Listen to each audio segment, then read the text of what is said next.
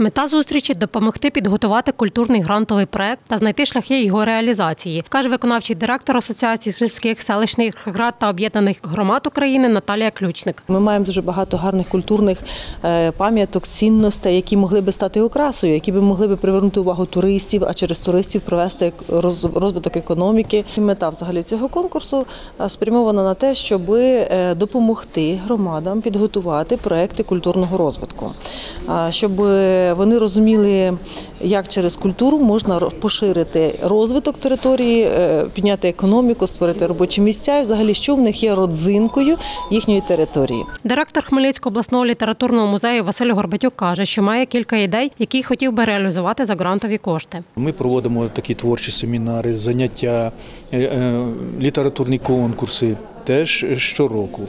Е, Хотілося б е, такий проект е, з підтримки нашої діяльності саме в цій сфері, в цьому напрямку.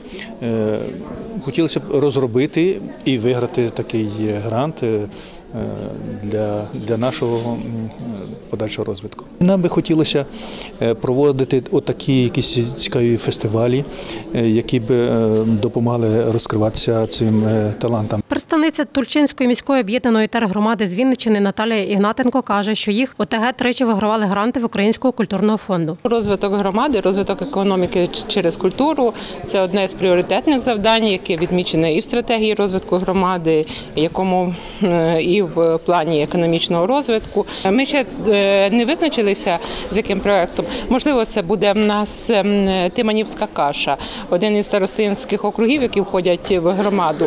Це село Тиманівка і е, нематеріальною спадщиною визнано Тиманівську кашу. Можливо, це ми будемо розвивати. Ось цей проект. Інформаційні зустрічі заплановані у п'яти містах України, каже керівник відділу інформаційного супроводу проекту Культурний розвиток громад Ірина Омельченко. Ви перші Хмельницький, далі Івано-Франківськ, далі Миколаїв, Суми і Житомир. Ми будемо розповідати про проєкт, тому що це дуже важливо. До 10 е, вересня е, має бути сформована команда, яка буде готова працювати над проєктом, над розробкою культурних проєктів за допомогою Асоціації сільських та селищних рад. За результатами конкурсу оберуть 30 проєктів, які профінансує Український культурний фонд, додає представниця Асоціації сільських селищних рад та об'єднаних громад України Ема Марінкевич. Ці кошториси будуть складатися вже з тих проєктів, які будуть е, запропоновані до фінансування. На сьогоднішній день е, впроваджуються нові підходи е, щодо реалізації культурних ініціатив громад, тому що це нові стандарти. Ми стараємося навчати наші громади е, знаходити свої якісь легенди, свої якісь цікавинки, показувати це світу. Леся Боровець, Віктор Кривий. Новини на Суспільному. Хмельницький.